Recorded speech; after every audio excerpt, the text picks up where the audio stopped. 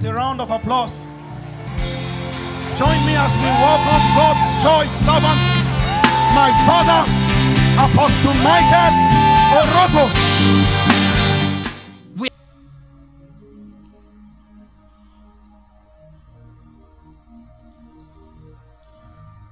I know most of us, this is most likely the first scripture we encountered when we became Christians or believers in Christ Jesus. Ah, let me read from K, KJV. It said, John 3:15.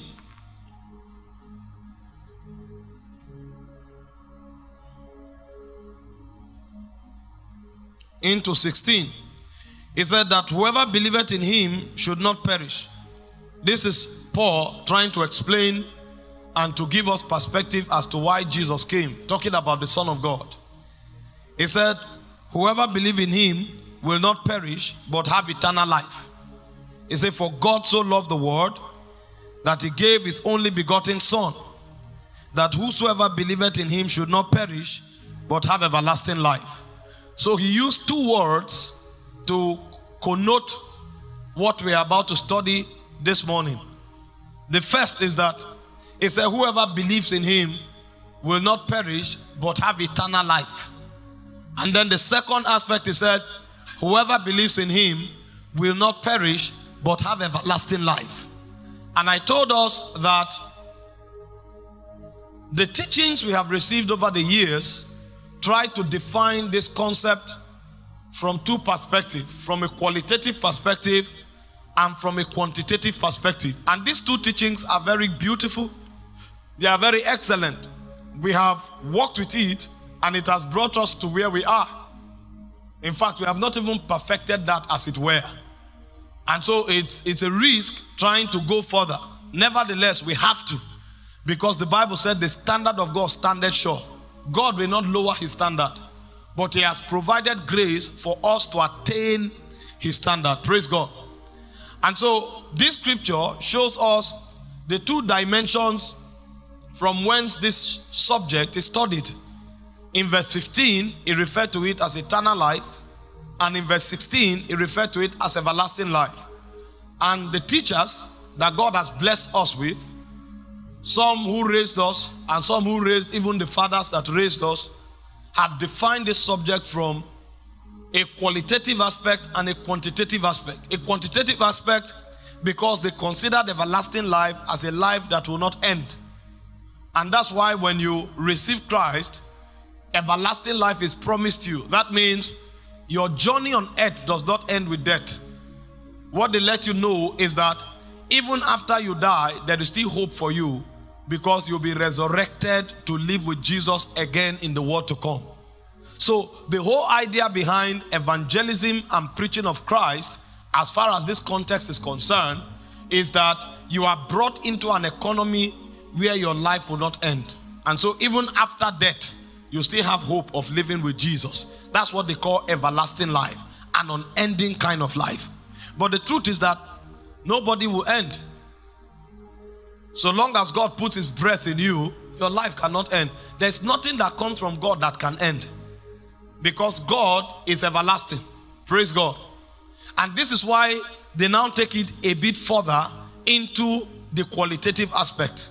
That this life is not just everlasting. Because everybody who have received the breath of God will live forever. But that this life also has a qualitative dimension. And so they delve into eternal life. And when they are explaining eternal life, truthfully, they tell you it's the God kind of life.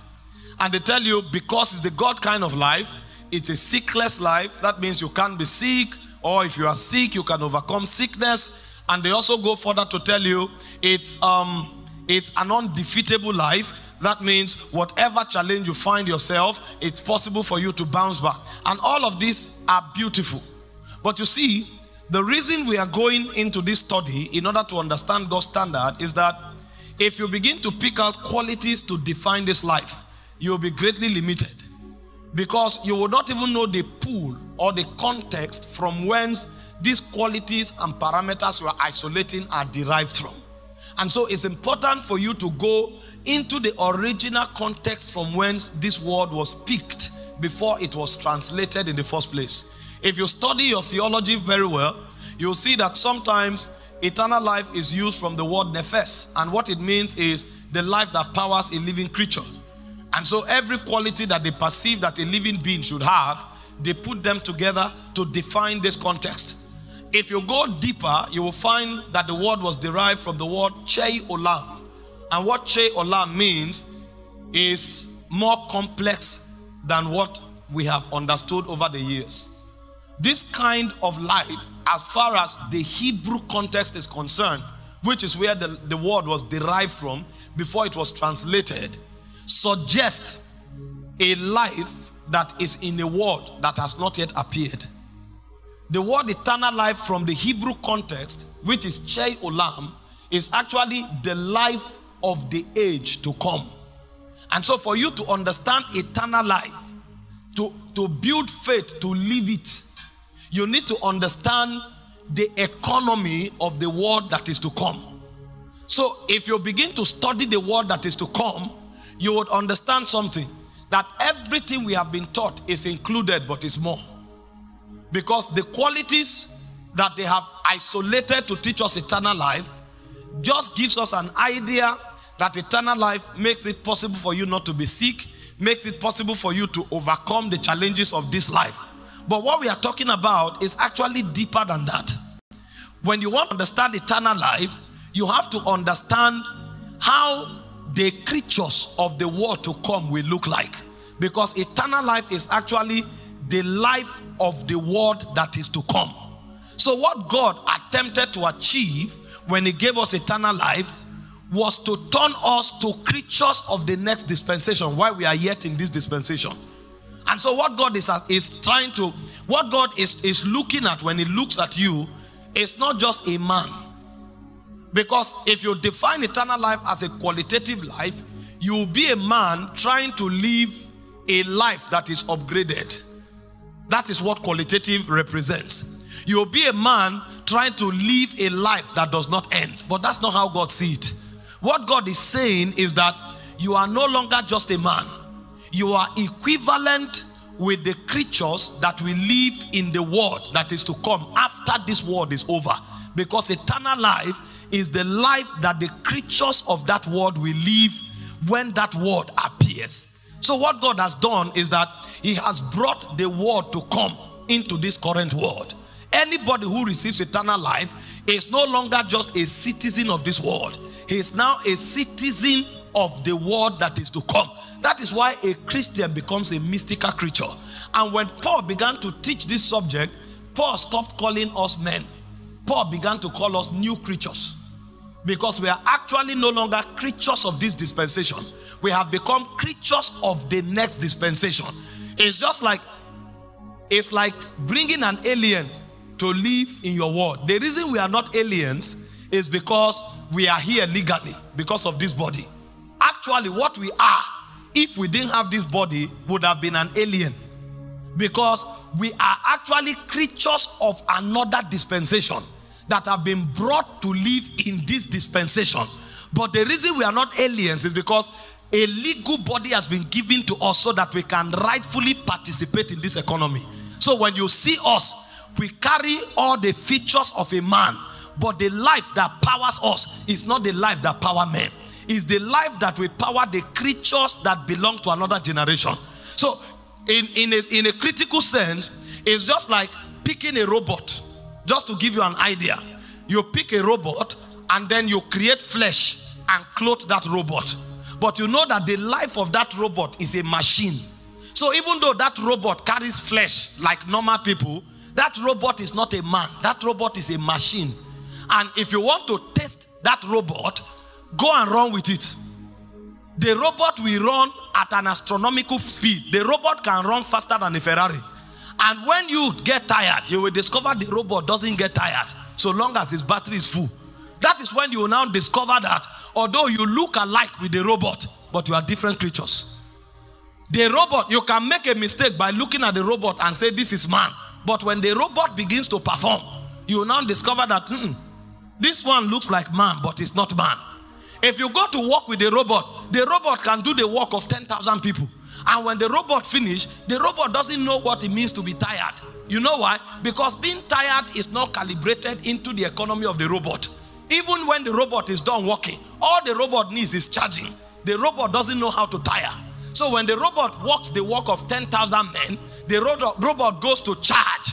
And when it's done charging, it begins to work again, almost at the same frequency. And you'll be wondering, what is this? Then you will now know that although this thing look like me, it is not me. This is why we pray in tongues. When we pray in tongues, we are charging because we operate by another life. A normal man, when he's tired, he rests. When a Christian is tired, he prays. So, eternal life is not just about qualitative or qualities that you are isolating. We are creatures of another dispensation. God has put us here because He wants to win this world so that every human being on earth can also become a part of that dispensation. The life that power us now is a life of another world. The first person that came to demonstrate that life was Jesus Christ. When Jesus was walking on the earth, He was talking things that men could not understand. They want to kill Jesus, and Jesus will tell them, No man can take my life from me. I have the power to lay down my life and to pick it up again. And then you are asking, What do you mean, lay down your life and pick it up again? Who talks like that? No man talks like that. So many times when Jesus speaks, they say, No man talks like this. And that's why I was giving you the illustrations I was giving you yesterday. Jesus went up to pray and all the boats left. And then you would think Jesus, a man should wait for when the boats come back. And suddenly he faces water and he starts walking towards the water. If you were there, you will say, Wait, where is he going? Help this man, or he's about to drown. And suddenly, when he reaches where the water is, he starts walking and the water can't drown him. Instead of sinking, he's now walking on the water as though the water is a block. And then you are wondering, is this a man? No, he's not a man is a new creature. That's who a Christian is. People are sick, and then instead of looking for a doctor, Jesus shows up and they say, This person is sick. And Jesus hold the person and lift the person up. And then they say the fever left her. And the question you are asking is Is it the woman he lifted or is the fever he lifted? So you discover that this man is operating by an economy that is superior to men. They say somebody is dead, and Jesus shows up and say he's asleep. And then you look at him and start laughing and say, ah, is this person drunk? They say she's dead. Men die. Are you not aware? He's dead. And Jesus said, No, the person is not dead. All of you wait outside. Because if men are here with me, there will be problem. So he pursued all the men outside. And he walked up into the room and said, Young lady, I say unto you, arise. The question is, who talks to the dead? How can you be talking to a dead man as if you are talking to a normal person? Because the life he lives with, he operates with, he talks even to the dead. Because that life doesn't die. And so anything he talks to must hear him. He say, Young lady, arise. And the one that was dead rose up as if she was sleeping. And then you now look at this creature, you are now wondering, What are you? Or who are you? Which of them is correct? Whether you should say, Who are you? or What are you? Because when they meet you as a Christian and all they are saying is, Who are you? it means you are normal. When they look at you, they should ask you, What are you? Because the life you are living is not the life of men. You are living the life of God that powers creatures of the next age. That's what eternal life is. And so, as believers, we must study this life again and find out if what we are doing is actually what God expects or what religion has taught us. Because today, if we are sick, the first point of call is drugs. But the question is the life you are living, the creatures of that age, do they take drugs? And I'm not saying anything is wrong with medicine because there is also a faith dimension to this truth where you grow because every being grows. But the question is if truly you are living the life of another age, the question you should ask is the creatures of that age, do they take drugs? Imagine if they put skin on a robot. Will the robot wake up and say, I have fever? The question you ask is, do robots have fever? Robots are machines. They are not designed to have fever. And so if a robot has fever, in the realm of that of robots, that is a miracle. So your miracle is not when you are healed, your miracle is when you are sick. Because the age where you come from, the creatures don't fall sick. So if you have that life and you are sick, and another creature comes from that age, that creature will be wondering, how come you are sick? Because where we come from, we don't fall sick. If by any means you are carried to that age, they will take you to the lab to study you, to understand how it is possible for sickness to enter you. So when you say you are healed and you are celebrating as a miracle, the people of your age are actually shocked that you are sick. Because sickness is the wonder in their world. In their world, they don't fall sick. Are you following?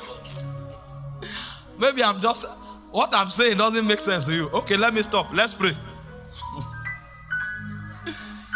Imagine, imagine if when Jesus came to the earth, Jesus now fell sick.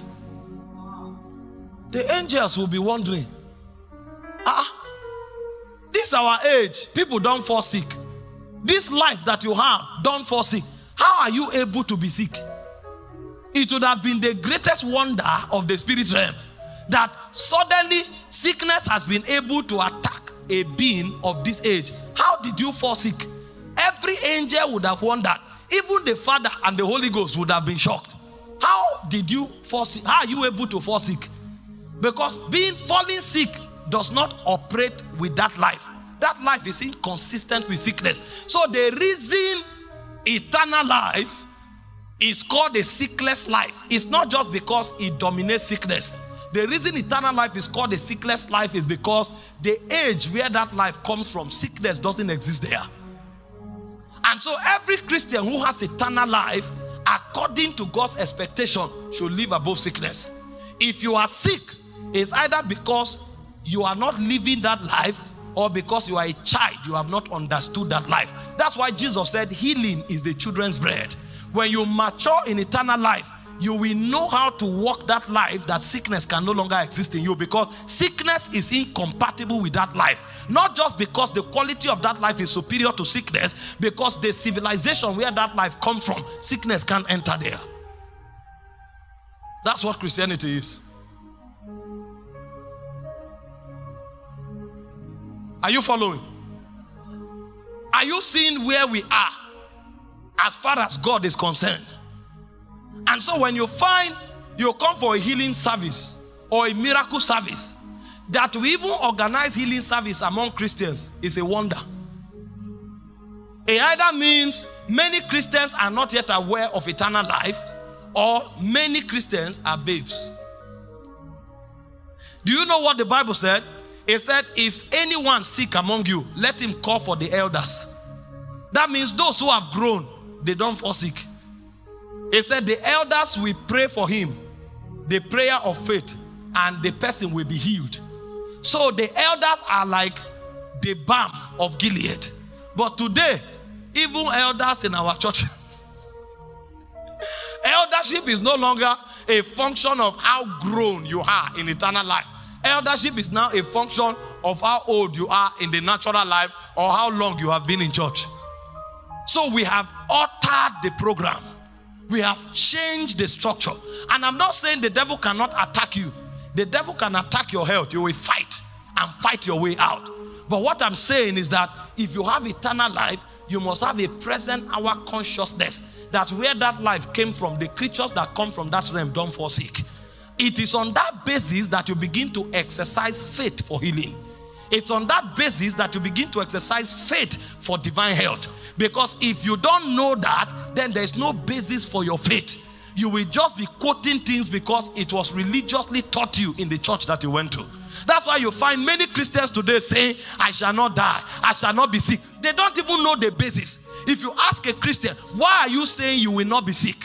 Why are you saying you will be healed? Why are you saying you will have divine health? Why are you saying you will resurrect with Christ? They don't even know the basis. The basis is because right now, the moment you receive Jesus, a life has been put on your inside, and that life did, did, that life did not come from your realm. That life came from another realm, and the realm where that life came from, death can't conquer that realm.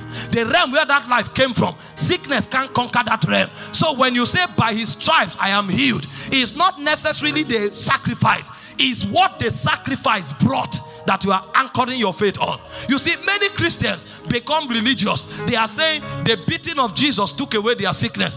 The beating of Jesus took away the sickness for two reasons. One, because it is your sin that makes sickness come to you. When Jesus was beaten, he paid the penalty for sin. But the reason you are actually healed is because when Jesus took away the penalty for sin, he brought life into your vessel the life that Jesus now brought into your vessel makes it impossible for you to be sick. But if you don't know the basis for your healing, you will be quoting that scripture and you will think the more you quote it, the stronger you will become. It is not quoting that Jesus was beaten that healed you, it's becoming aware that because Jesus was beaten, the penalty for sin was taken. And in addition, a life that is above sickness have been put in your body. And so when you are talking those things, you are not looking to heaven, you are looking inside.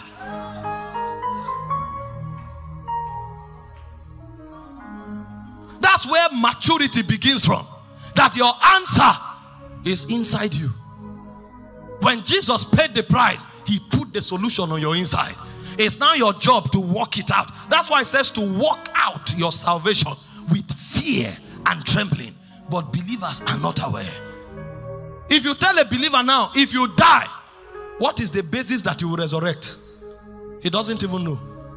He's saying, God will raise me up. What is the technology that God will use to raise you? The technology God will use to raise you is because He has put a life on your inside that cannot die. And so when Jesus shouts, that life is stirred.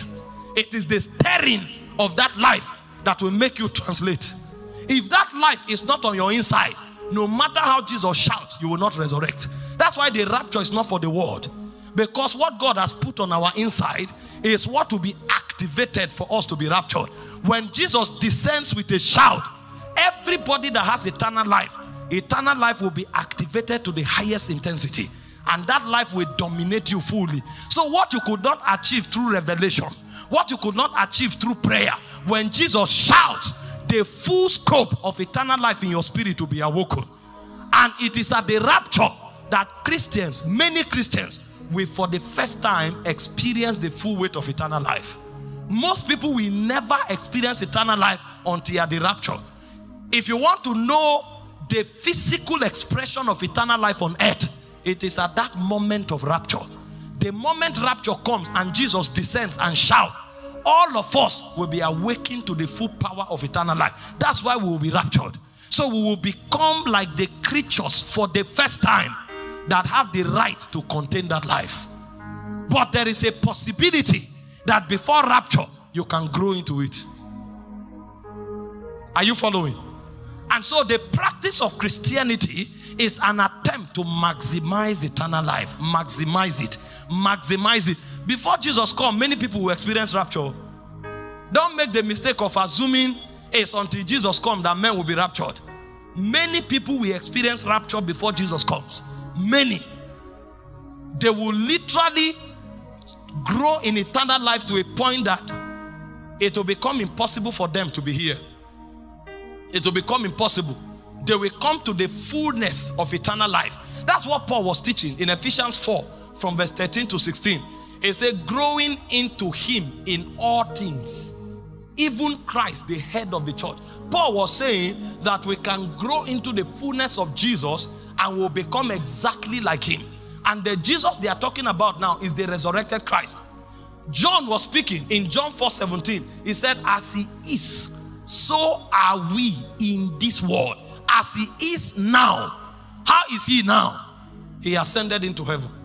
How is he now? He is glorified.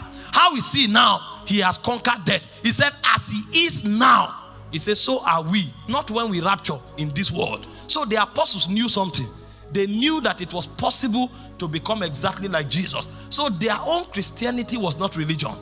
Their own Christianity was a daily pressing into God so that they can become exactly like Christ. That's why Paul was speaking in Second Corinthians 5 2 and 3. He said, For this cause we groan that we may be clothed with our heavenly tabernacle. Paul knew that it was possible for the full weight of eternal life to be awakened and a man walks into glory. He knew.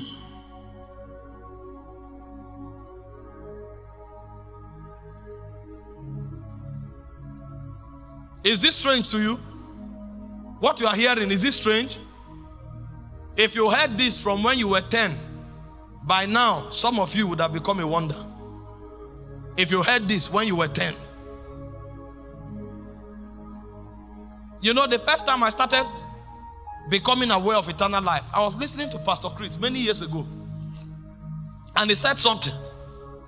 He said he had an injury on his hand. And he looked at it and he said, No, my body should not be injured. And he said, He commanded what was caught. He said, Close up. And instantly the body closed up. Instantly the body closed up. And when he started winning souls, you know, he was young, but he was learning some very dangerous truths, very dangerous that you can't teach publicly. And so when he met the likes of Reverend Tom, he said, he told Reverend Tom, I can cut my body and grow it back. And Reverend Tom said, then you must be a witch. And he said, yes, I'm a higher witch because I'm superior to a witch. He said, a witch is a kindergarten. A witch has a miniature life. He said, I have a superior life to a witch. I'm bigger than a witch. And he told Reverend Tom, he said, Look, he cut his hand. The first thing is that he suspended pain. He was able to, you know, the eternal life is a superior life, so it dominates the physical life.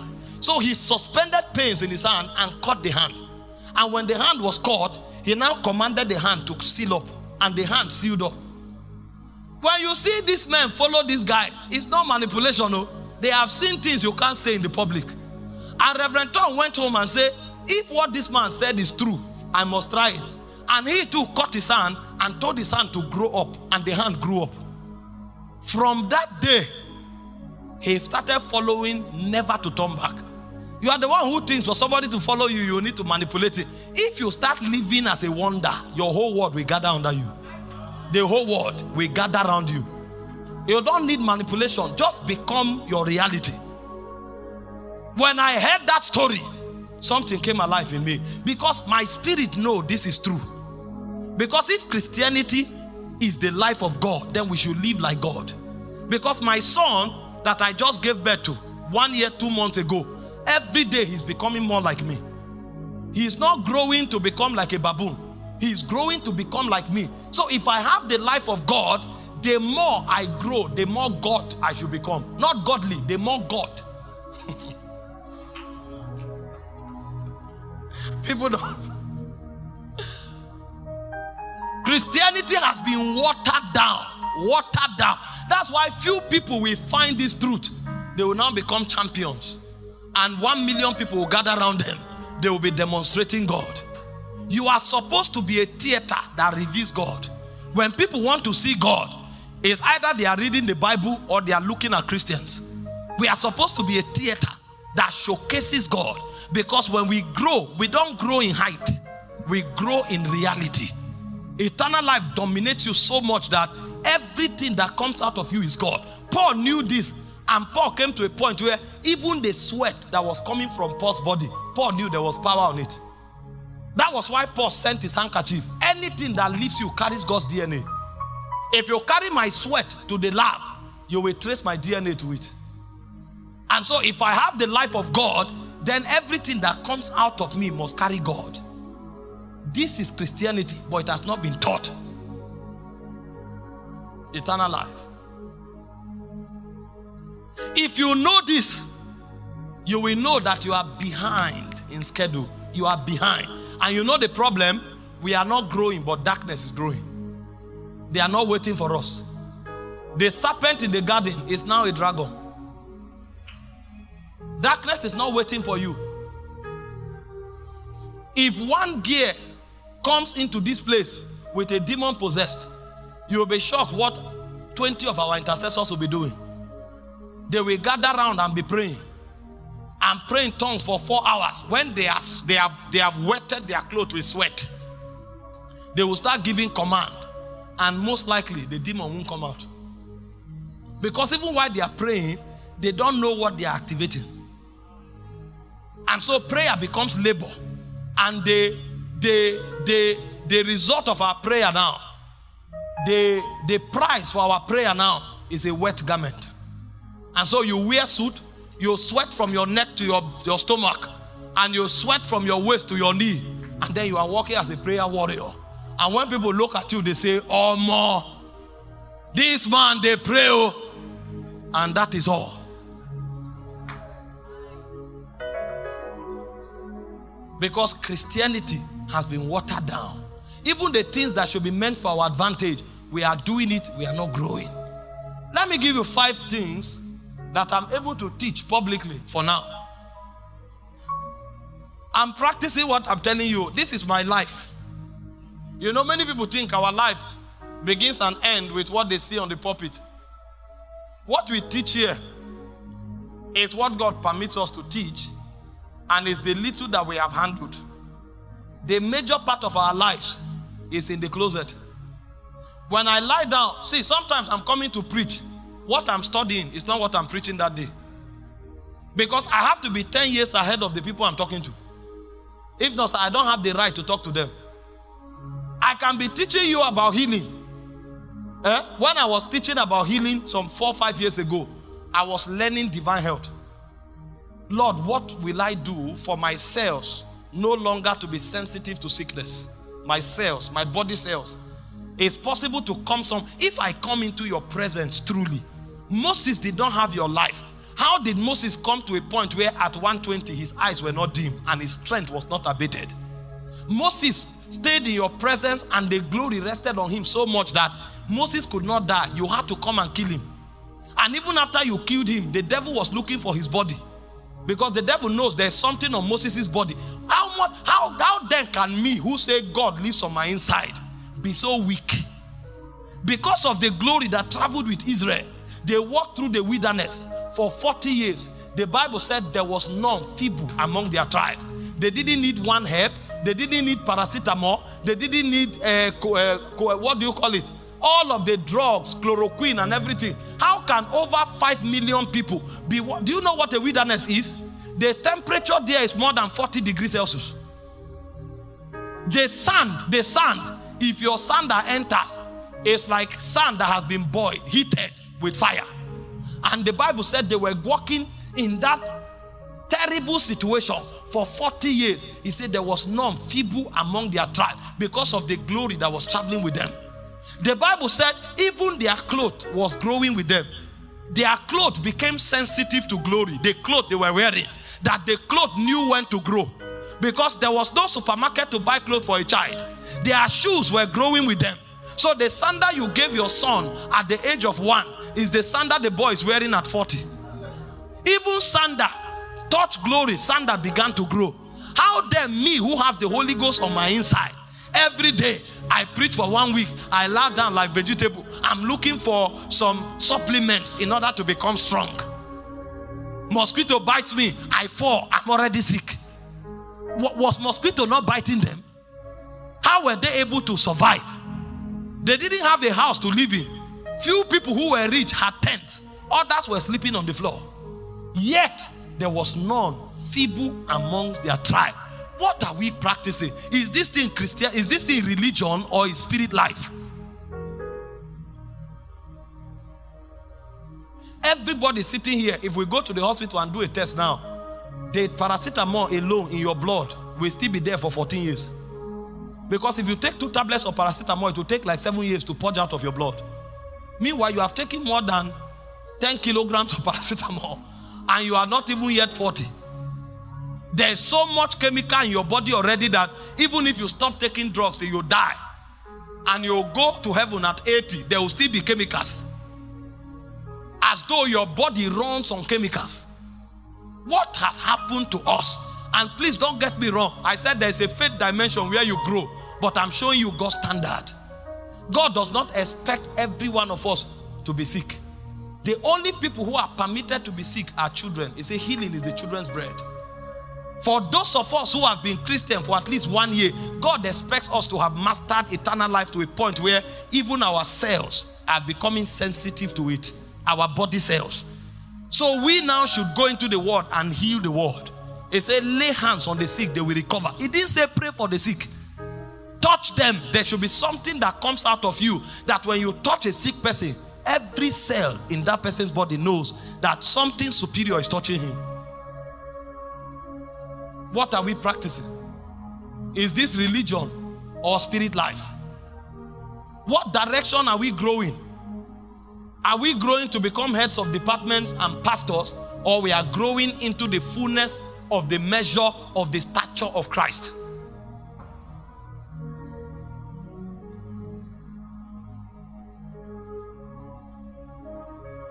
Sometimes you want to share things like this, you are even careful. Because Christianity have been so watered down that when you are talking, people will look at you and say, hmm, Be careful. Wisdom is profitable to direct. Heaven helps those who help themselves. It, see, we are in a mess. We are in a mess. If there's anybody here and doctor say, ah, there's nothing we can do, even the person knows, he will just start crying. You go to the hospital and the doctor looks at you say, ah, how are you able to walk here? Lie on the bed quickly. You say, doctor, what happened? What happened? Check my body. He said, how did you come here? How did you see your blood pressure? The person will die. They, just from the way the doctor spoke, the person will die. When HIV started, hey, if you come to the hospital and they say, doctor will just come, before they give you result, they'll say, go to counseling room. They will now tell you first that you see, this is not a sentence to death. However, there's no cure to this infirmity. We regret to announce to you that you are HIV positive. The person, as he's walking home, high blood pressure will start. The moment he reaches his door, hypertension will kill him. Because the word of the doctor is stronger than the voice of an angel. If the doctor tells you, we are sorry, even you knows that your pastor is coming just to console you, to help you die peacefully. Even you know. In fact, you just respect your pastor by granting him audience. And pastor will come and say, don't worry, our God is able to deliver. As he's talking, tears will just come down. You know that this one he's doing is, is encouragement therapy. He's trying to help you die in peace. Christianity. You find somebody preaching, we have power over sickness. Then they roll somebody with wheelchair. The next thing sermon will change. You know, it is God that heals. And God heals as He wills. If God is not healing you today, He can heal you tomorrow. But don't give up. Don't give up. There is hope in those who believe in Christ Jesus. Welcome to modern day Christianity.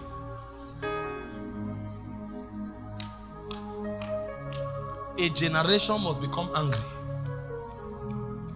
Eternal life is the life of the age to come. And if you have that life in you, you should live like a creature of the age to come. That is God's expectation. That is God's standard. That is God's requirement. And that's what Christianity is.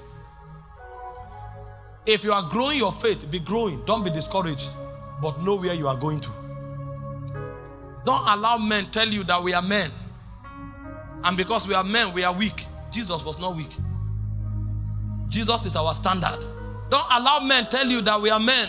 And because we are men, we make mistakes. How many mistakes did Jesus make? Even where Jesus lived was captured in prophecy. You are reading that it might be fulfilled, that it might be fulfilled. When he was on the cross, he had fulfilled all the prophecies that was written concerning him. He lived a life of 100% precision. There was not one left. Welcome to Anagkazo Watch TV. On Anagkazo Watch TV, we are a great team and work on life transforming messages that will bring you into realms of divine encounter with the world of truth. Please don't forget to subscribe, like, and share our videos. God bless you.